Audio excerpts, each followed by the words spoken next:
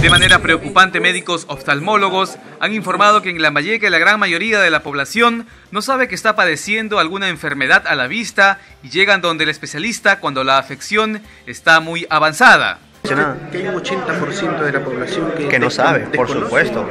Yo, mi amigo, yo veo aquí a diario pacientes que vienen por un simple chequeo común y corriente. Pero me dicen, doctor, no veo cambio de lentes a cada rato, cada momento, y no encuentro mejoría. Vamos a revisarlo.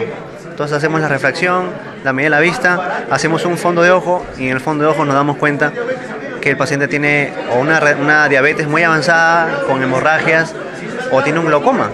Como siempre, la prevención es la mejor opción. La catarata y el glaucoma son los males más frecuentes en nuestra región. Entonces yo creo que yo soy de la idea que la prevención es, es mejor que la, que la curación. ¿no? Te vas a, vas a invertir menos para curar, porque si tú, digamos, este, te enfrentas a una enfermedad avanzada, pues los gastos que demandan la salud actualmente pues son más caros, ¿no? En cambio yo creo que una buena prevención, en el caso del diabético, controlando los niveles de glucosa, no solamente te vas a prevenirte en los ojos, te vas a prevenirte de forma general. Para los pacientes diabéticos es importante prevenir el desprendimiento de retina.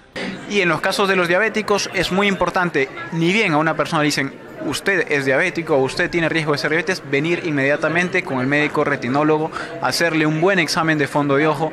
Usualmente los pacientes diabéticos que son diagnosticados, cuando son diagnosticados muchas veces ya tienen cambios en la retina. ¿Por qué? Porque usualmente son diagnosticados de manera tardía.